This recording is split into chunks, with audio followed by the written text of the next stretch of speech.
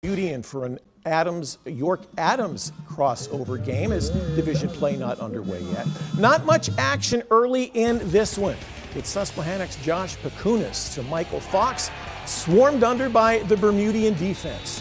Was scoreless in the second quarter when the Warriors get the ground game in gear. It's going to be Fox ripping off 15 on this carry.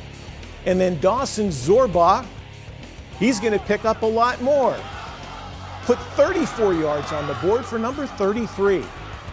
And then Pakunis is going to finish off the drive, muscling his way into the end zone.